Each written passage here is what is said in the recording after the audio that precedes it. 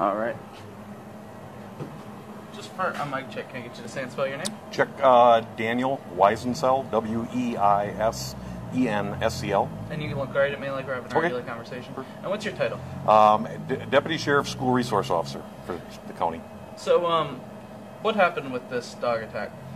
Well, it's my understanding that a 11 year old female and her two year old brother uh, were in the community of uh, Bowler, the village of Bowler, and the dog um, had gotten away from its residence, um, started to approach the two year old, uh, at which time the 11 year old was able to distract the dog, uh, pit bull as it was, uh, away from the two year old, um, and basically put herself in between her and her brother to avoid uh, uh, the little one from getting hurt.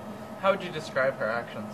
Well, obviously heroic. I mean, um, to be able to a think that quick, uh, and to uh, you know immediately you know put her her brother you know in, in a safe safe position and, and put herself in jeopardy. I said, you know, that's that's that's unusual.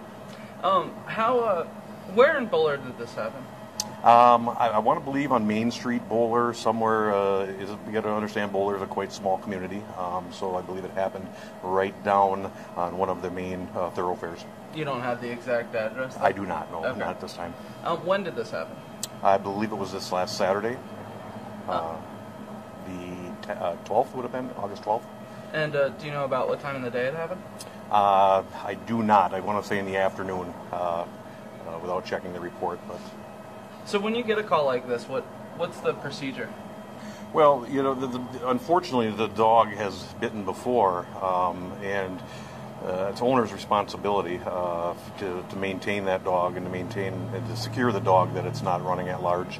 Um, and it currently was under a quarantine from a previous bite.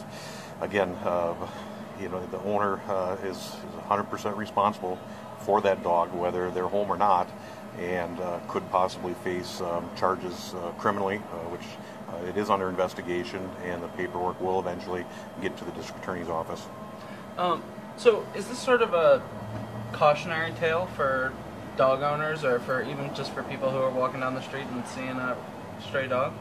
Well, I, I would say, you know, it's not just dog; it's it's cats. I mean, uh, you know, unfortunately, in our society, sometimes pets become very disposable and uh, left behind, um, not knowing where they belong or where they should go, uh, and they they wind up in a community or they wind up in unfamiliar uh, territory, and um, by nature, a pet will, you know. Uh, sometimes defend itself or, or you know try to approach other people but you know the obvious yeah if you don't if you don't know a dog or cat uh, or uh, animal of other species uh, yeah you, you have to you have to be somewhat cautious Um, so do you think this little girl possibly saved the two-year-old's life?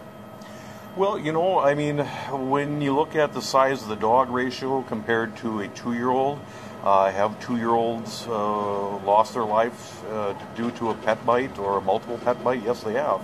Um, so we would hate to think about the you know the the, the ultimate outcome of, of you know someone or uh, a small child losing their life, but uh, the possibility is always there.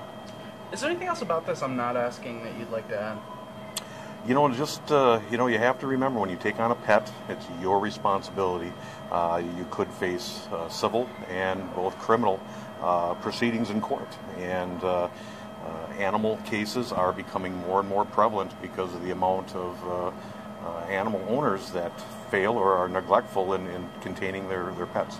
Um, how long do you think it'll take for the paperwork to get through as far as charges go against the the pet owner? Well, you know, traditionally something like this, you know, we, we have to get the medical reports uh, from the little girl and, and uh, you know, take our time with the investigation and, and make sure that it's everything that the district attorney needs to move forward, if he's going to move forward. Um, and so we'll let him make that decision uh, typically a week to two weeks. Perfect. Anything else you'd like to add? Not at this time. Great to meet you.